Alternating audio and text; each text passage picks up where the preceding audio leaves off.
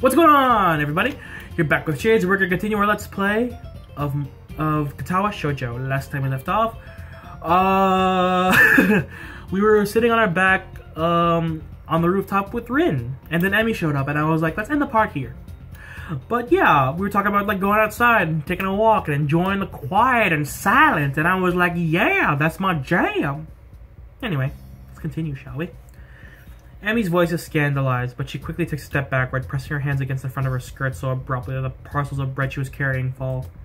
I quickly avert my eyes and glance angrily at Rin. She pretends not to see me.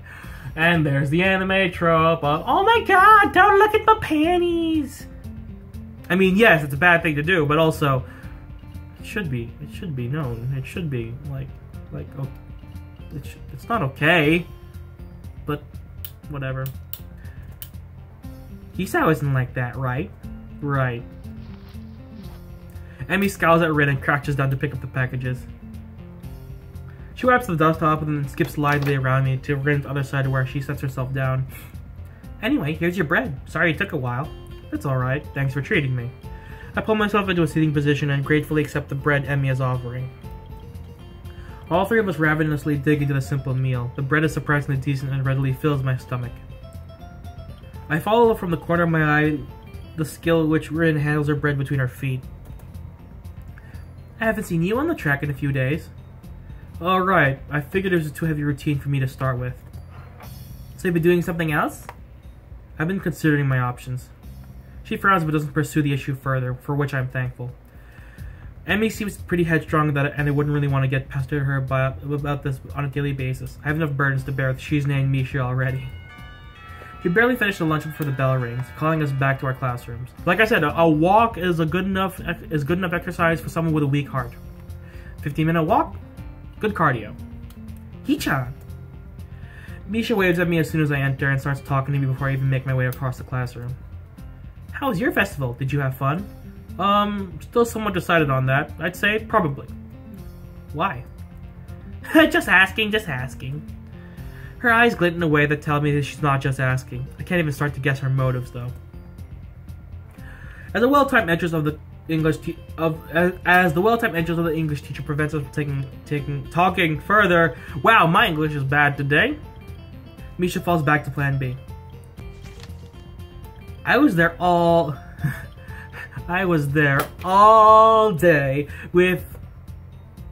I wouldn't know what Shizune's name sign would be with She Chan. I spelled it wrong with my hand spelling, but whatever. We had a lot of fun. I'm not sure. It's because it's Shizune, like, I, I forget what fun is. This is funny. Mm, I don't remember. Weren't you supposed to be doing work? I forget what worry is, too. My vocabulary is really bad. Even my grammar is awful, really. Don't worry, everything went really well. I don't reply to that, and she leaves me alone after she is named demands her attention. My own attention, on the other hand, is directed toward the window. Now that I look in from here, the, through the window and the foliage just outside, the sky seems smaller. I catch only small glimpses of blue. Everything else is a clutter of noise right in the middle of my field of vision. What experience did Rin want out of staring at the sky? Surely she's done it before. Everyone has. It's no use trying to guess her mind, but if I don't do that, then I have no excuse for not concentrating on the teacher's words. I look at the scribbles appearing on the blackboard, trying to figure out their meaning with little success. English really is not my favorite subject. We have a strong mutual dislike for each other. To be fair, English is a very complicated language. Why is it Arkansas and not Arkansas? America, explain. Thick hot afternoon light invades the corridor, making the air feel heavy and lazy. My body feels weighed down by it as I drag two doors down the hallway to the art classroom. Maybe this is part of the reason why I didn't join any clubs before. Afternoons just aren't suited for activity. Uh, I wish I could agree, but I loved the club that I joined in uh, college. I, I joined a, like two clubs mainly. One I didn't like as much as the other, for personal reasons. Um, but the other club I love so much. I joined the e the executive board, uh, and then I joined, and then I became president. And then now I am no longer on e-board because I'm once you hit presidency, where are you gonna go from there? Uh, but then like I'm just like I'm just gonna be here and like I, I don't participate as much as I can because I commute now and their and their meeting days are when I'm not on campus. Like if they were on were when I was on campus, I'd be like oh, I'll be there. But uh, now I'm just like I'll be at the events and I see you guys regularly on campus anyway. But I really miss the concept of meeting new members. I haven't met any of the new members. I met one of them. And it's only because they're friends with uh, the younger the younger members of my group, and I'm just like, I miss meeting new members, man. I miss that. Shit. I knock on the door of the art room and open it. A girl who's possibly doing something important with a scroll of paper she's carrying turns to reckon me, and I smiles in a sweet, if not a bit confused manner. What's wrong with you? I don't see what's wrong with you. I think you might be blind. You're missing an ear. And I can't tell what's wrong with you. Yet, anyway. Then she turns and she's missing an eye. Hello? This is the art club, right? Yep, you interested in joining? Yeah, in fact, I might have already done so, but we'll see. I give her a weak smile and hers, her own widens a notch, making me feel less nervous. Great, have a seat then. We'll start when the teacher gets here. Oh wait, I just remembered that like um they did say that like like non-handicap uh students go here. So uh handicap is that offensive? I'm not sure. Disabled is offensive, I know that. Goddamn son, go away. Without even scanning the room for a good spot, I quickly walked to the back of the room, settled myself on a free seat apart from everyone else. There it is. A few other members are lounging in the seats waiting for the teacher. Rin sits alone in the window seat looking outside. She's the only person here that I know, although a guy I never really gotten along with from my class is here too. Nobody else comes to greet me. Maybe introductions are left for later, so I just settle for a silent observation as well. One boy sunglasses on, an odd sight indoors. An odd sight indoors, were we not Yamaku? I bet he'll he's the blind student Rin was talking about. The wait proves to be extremely short. Oh, him! I remember you. No Nomiya walks over to stand behind his desk in three long strides and gives a smile and a flamboyant greeting. Good afternoon, everyone. I forget the voice I gave him. I'm sorry. First things first, Hisao is a new member. Everyone get along with him. He winks at me unsettlingly. All eight members of the club, including myself, answer his greeting with considerably less enthusiasm. Still, people finally straighten up in their seats and begin to pay attention. I think some of you still have projects to work on, so please continue with those if you like. As for the rest, I was thinking that today we could do some rough studies. How does that sound? Nobody answers except with un some unintelligible murmurs, which Nomiya apparently interprets as unanimous approval. Alright then, everyone not working on other projects, choose a partner and draw a sketch of one another. You should be able to complete this today, but if not, we can continue it next time, or even do it again if you find it interesting. Pay attention to lighting and shadow and give it your best. Uh, if I remember correctly, studies are like the appearance and using it to like, and try to replicate it perfectly. Because like you have to like match the lighting and um, the contour and the shadowing and the shading. I don't know, pairing up. I feel awkward about it, but hardly knowing anyone here. I wish someone would ask me to be their partner. People stand up and move their chairs closer together, but nobody comes to me. Well, duh, you're the new kid. Pretty soon everyone else is paired off. Friends team up with each other, but I'm left alone. Well, there is Rin. She's sitting in the furthest corner of the room, still staring out the window and seemingly uninterested in taking part in the exercise. Since she's the only other one without a partner, I walk to her seat. I can't see her face because her hair is covering most of it and she's looking away from me. Rin?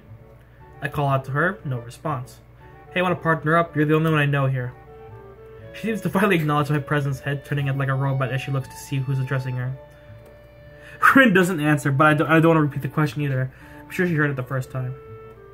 Why doesn't she say anything? It can't be an awful fate to be paired up with me, can it? She doesn't look at my face, instead stares directly at my chest and stomach. Oh, okay. Why not? Okay, good. Great. I'll get the stuff for us. Oh my god, the sun's shining. It was cloudy earlier. Lighting, please. Lamps become stronger. It's not helping. Looking at the equipment Nomiya has prepared for the day's meeting confuses me. Instead of graphite or pencils, we're apparently supposed to do ink sketches. I've never done anything like this before. The teacher, however, seems confident in my abilities to adapt to this medium. Simple! First, you do outlines in ink, you let them dry, then you shade with the diluted ink. It's called India ink. It works with, like watercolors. If you're comfortable with it, then use a pen instead of a brush for the outlines. Got it.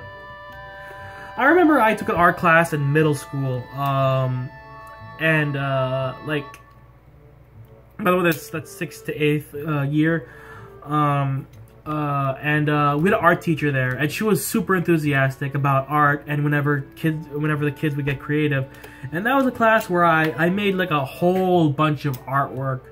Um, and to be honest, I, I I cared not a lick for art, to be visual art anyway. To be freaking um uh honest, and uh, I would just do things at random. In fact, I have one of my art pieces still here. Let me get that. Oh come on! I forgot it's broken. Uh, oh shit. Mm. Like this wooden sculpture here, like I would like it's it's broken now because the hot glue has since deteriorated. Um, but uh, I literally just like did random shit, and there's like this one that looks like a D because my last name starts with D, and like I would just randomly paint things, and like she would just be like so excited. Let me put this back. And our teacher, she would just get so excited. Um, and like uh like be like, wow, Kyle, that looks great. And I'm like, really? It looks like random Mod Podge of bullshit. But then again, now that I look at it again, I'm like, I'm not gonna lie, it looks actually interesting. Like, yeah, it's painted really shittily, but then again, it was painted by a kid with no skill and never practiced that skill. I, I made a whole bunch of other crap, but uh, I think one's in the basement right now, and uh, huh. I don't even remember where all of them are. I, I, that was one of the ones I made. Um, there's a there's one like downstairs. Oh God, I want to bring them up. Thanks, friend, for making me relive my art days in middle school. I'll be right back. And here's another one. Yeah, like just these weird sculptures that I made, and like to be honest, uh, it's this is not this was not as hard to make as it looks. Um, it's actually a pantyhose. Uh uh, done put over a wire uh, thing that I shaped. There was like uh, like a wire thing, like like like arched over in a cross fashion, and then like I shaped it, put the pantyhose over, and then I painted it in uh, Mod Podge, I think was what it's called.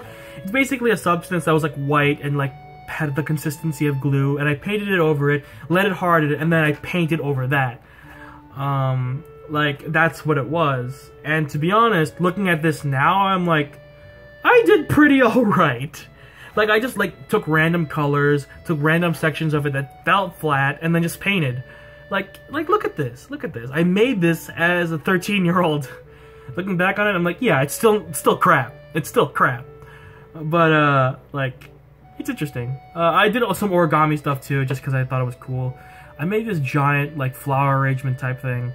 Um, and uh, like it unfortunately fell apart when I took it home, which is a shame, really. Like it's such a shame. I'm gonna go get it. I have it. This thingy. Uh, this is one of the last things uh, I made in that class, uh, cause um, our classes were split up into four marking periods, and uh, there were like three electives that you could have that were like chosen for you. There was music. There was like uh, no, actually, there's a lot of them. And like in middle school, they would just switch every now and then. Sorry, I ran to get this so I wasn't wasting time. but um, um, this one uh, I made was one of the last ones because uh, you had like uh throughout your in my last year of middle school, we had one elective for per marking period, and then um, cause like they were split up based on your year, um, and then like I had art, music, and I think like wood shop, wood shop, I think, and uh, and then uh, like the last one, cause we were it was last year, we got to pick, um, and then I was like, I'm picking art, because it was the easiest one.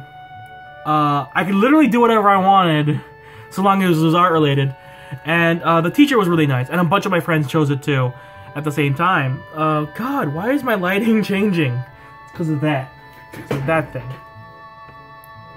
But uh, like I made this. Like she just gave me a book of like here's some craft stuff that you could probably do, and I'm like, okay, I'll take a look at it.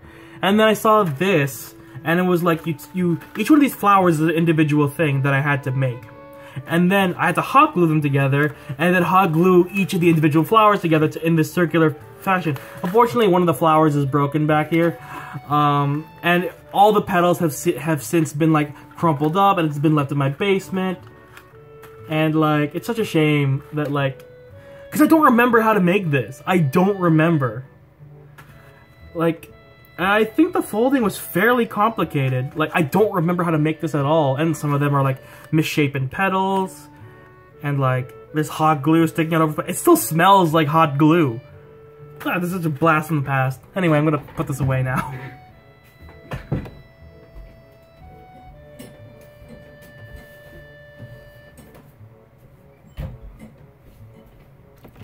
But yeah, that was uh, my my last inklings of um, art in my life. It's been a really long time since I've uh, done anything like art related. Uh, but yeah, those were good times. I, I, it's, it's good to go down memory lane just because, like, I look at that thing every day and I'm like, huh. I, I don't even remember what it originally looked like because uh, as time passed, the, the, the hot glue just uh, didn't work anymore because it's wood. It's it's it's it it doesn't work well with the hot glue. So like after a while, pieces pieces kept falling off, uh, and like I just I, at the time I just never put it back. Now now I'm looking at it and I'm like I really wonder what it looked like originally. Cause God. ah well. I, I pick up paper, water cups, one pen for me, one brush for Rin, and ink bo for both of us, and then return to Rin. Grabbing a vacated chair from nearby, I seat myself directly opposite her. Do you want me to do it with my foot or my mouth? What did you say? I know what that means. It means two things. She tilts her head and her brows forming question arc, questioning arches she's, as if she doesn't understand that I didn't understand the question. I don't mind drawing either way. You'll look better if I do it with my foot, though. With your foot, then, if it's all the same to you. Nodding in answer, Rin gets up from her seat and kicks off her sandals. In two fluid motions, she picks up the paper sheet and drops it on the floor, then snatches the brush between her toes before sitting on the floor in a weird half cross-legged position. Although I've seen her do everything with her feet already, from eating to painting, this display of dexterity is so prestigious that I just stare at her stunned. Rin contemplates her blank stare intently. The sharp tip of her brush hovers over the paper in anticipation. When she raises her head to see if I'm ready, I quickly turn my face away. I'll go first, make a pose. What kind of pose? Doesn't matter, that's the point. You have to make the sketch of the impression you get, not decide beforehand. I end up just sitting in my chair, hands hanging limply between my knees. I look at her and she looks at me for a moment before beginning. Rin's stare is, Rin's stare is piercing but impassive, as if she were trying to absorb a part of me into her own self. I feel like I'm physically shrinking under the pressure of her gaze. Eh, I mean, that's kind of art in, in a nutshell. Especially if you're doing a still art. By the way, for all my art people out there, do still lifes. Uh, I can't say this from personal experience, but from what I've seen of people who draw mainly people, still lifes are a really good way of learning how to draw people and make sure they're anatomically correct. Like, I get, like, uh, I get that people have been self-taught and then, like, learn an anatomy just by, like, practicing constantly and learning how what looks right on a, on a, on a human body. But to be honest, still lifes is probably the best way to do it. Because, like, uh, it just there's so many pretentious people that just go like, oh, I don't need to take classes. I I've been doing this for years. Like, no, you need to, you need to take classes because there's a lot of things you don't know. There's a lot of things I don't know. There's like like like even this platform itself, like learning about it, like it was hard. Like like now I know how to do a light setup, do camera and video separately, do audio separately. I know how to do all of that, and it's a good thing to learn. Anyway. I get the feeling that for the first time since we met, Rin is actually looking at me instead of at my general direction. She sketches with confident, bold swipes of the delicate brush, not caring about the potentially destructive consequences of an accidentally misplaced stroke. After she's happy with the outline, she stands up to pose for me, stretching her back and legs. This time she doesn't look at me. Instead, Rin lets her gaze wander around the room. Uh, I'm relieved it's easier to stare at someone when they aren't staring back at you. Even so, I find it hard to get the sketch going. I'm especially I'm not especially artistically talented, so I'm scared my portrait will turn into something disfigured, especially when compared to my partner's skill. I don't want to embarrass myself too badly on the first try. Rin is not helping the process either. She doesn't stand still for even 10 seconds, tilting her head from side to side, judging her drawing, biting on her lower lip, looking unsatisfied and constantly shuffling around like if she was on hot coals. I finally managed to make some headway on my sketch. With outlines done, we both start inking in the shadow and light. Nomiya passes by and remarks on the beginning of our sketches. Very good, standing figure is easier for a beginner to get the grasp of. But I didn't choose the pose. I look at him and then Rin in confusion, but he's already moving on to the next pair, and Rin seems unresponsive. Just like when she was painting the mural, Rin has become so engrossed with her work that it seems she has shut me, the classroom, and the entire world itself out from her own sphere of existence. Every now and then she leans backwards, seemingly to get some perspective. Sometimes she bends forward, leading down until her nose almost touches the paper. This rocking back and forth looks silly. Suddenly, Rin proves she hasn't completely drifted off into a world of her own and speaks. Are you having fun already? Uh, she doesn't raise her eyes from the drawing, which is a good thing. The breaking of the silence sends a jolt of surprise through me, as if I've been electrocuted. I don't know yet. It's hard to say. I can't hear how she replies to my answer because it seems that she's suddenly having a private whispered conversation with her sketch. I don't understand how she can draw so well when she has the attention span of a butterfly. As it seems she's lost her interest, I go back to working on my drawing as well. I try to add texture to Rin's hair, somehow the way, somehow to somehow grasp the way the golden afternoon sun lights her bright red tussle aflame and transfer to my paper in shades of black and gray. Somehow this pen and bottle of ink seem such a lousy and inadequate tool for the task. Minutes pass, but the sketch doesn't look magically like any more like Rin than it did before. Her voice wakes me up from my despair. What about now? Excuse me? Are you having fun already? Why do you keep asking that? Because it's a club, right? Clubs are meant to be fun. Oops, I didn't mean to do that.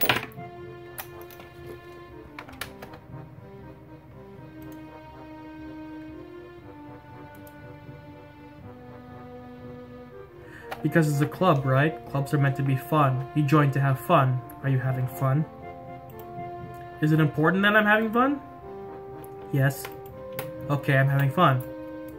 Good. I wonder if I said that just to please her or if I really meant it. I can't really decide which is which it was. I don't hate this though. I can't honestly say that much. It's good enough for now. And it's also a good place to stop. Uh, but no, honestly, like adding my again my two cents into this. Um, art doesn't feel like fun when you're making it. It's fun when you get to look back at it. Uh, making those wasn't as fun as I thought. Um, like, even the origami stuff, it wasn't that fun. But when I'm done and I look at the finished product, I'm like, yeah, that was worth it. But yeah, that's my uh, trick. It's also the same when I make these videos. Like, I hate editing. I hate it a lot. But when I'm done and I look at the video, I'm like, yeah, that's that's okay. I, I did my best on that. So anyway, thank you guys so much for watching. If you like this video, hit the like button. If you want to see more videos from me from this series, hit the subscribe button. And you're not exiting the Shadyverse. My name is Shadez, and I hope you've enjoyed your day in the shade. See you guys next time. Bye.